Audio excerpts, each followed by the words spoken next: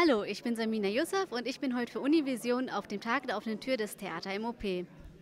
Also das Top ist äh, das Universitätstheater des, ja, der Universität Göttingen. Universitätstheater heißt, dass wir halt hauptsächlich von Leuten bestückt werden, die im Kontext der Uni an, ja, angesetzt sind, äh, angesiedelt sind, zum Beispiel eben Studenten, Dozenten, ähm, aber auch eben Leute außerhalb der Universität, die immer mal hier spielen, mithelfen und äh, Spaß haben und arbeiten natürlich. Ähm, ja, ist natürlich recht zeitaufwendig. Ähm aber bei mir klappt das bisher eigentlich ganz gut. Hallo, wie heißt du?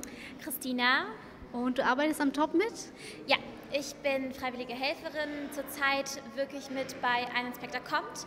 Das ist die Produktion, die im März anlaufen wird. Und da spiele ich das Hausmädchen Edna. Das ist nur ein kleiner Part. Und dazu übernehme ich noch die Regieassistenz. Und du würdest es auch jedem anderen empfehlen, hier mitzumachen?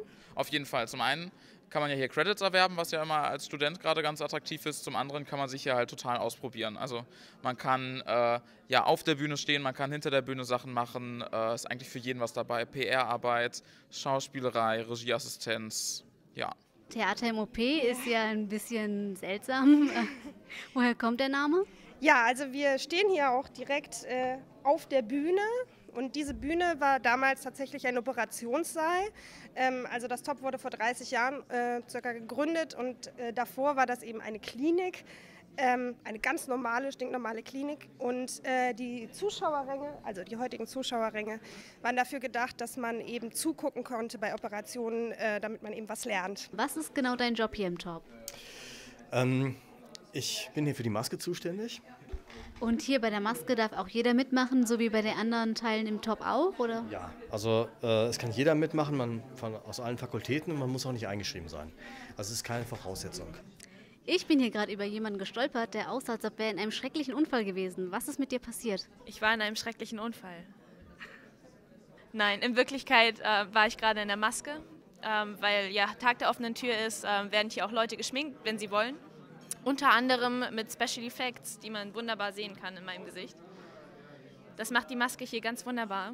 Wie ihr seht, ist es auch hier ein ganz anderer Bereich. Also das Beauty-Schminken ist bloß ein Teil von der Maske. Es sind unterschiedlichste Bereiche, die über das normale äh, Schminken hinausgehen.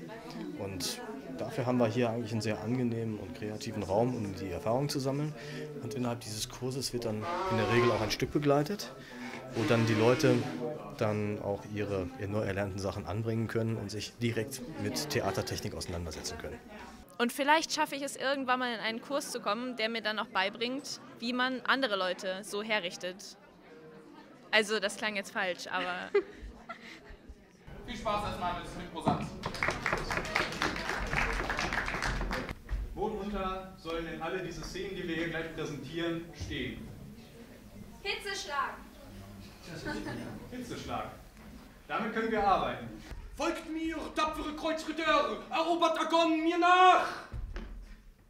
Was, was, was ist los? Ich glaube, der hat Hitzeschlag. Was, was ist hier los? Folgt mir, tapfere Kreuzritter! Oh, ich muss dir was erzählen. Ich habe so einen getroffen. Es hat mich getroffen wie ein Hitzeschlag.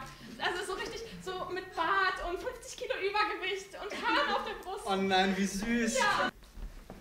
Also, ich glaube echt, dass Hitzeschlag ein Wort für Schlager in der Hitze ist, so Mallorca, Ballermann und sowas. Herzlich willkommen zu unserer neuen Fernsehsendung. Schlag den Hitze, kurz Hitzeschlag.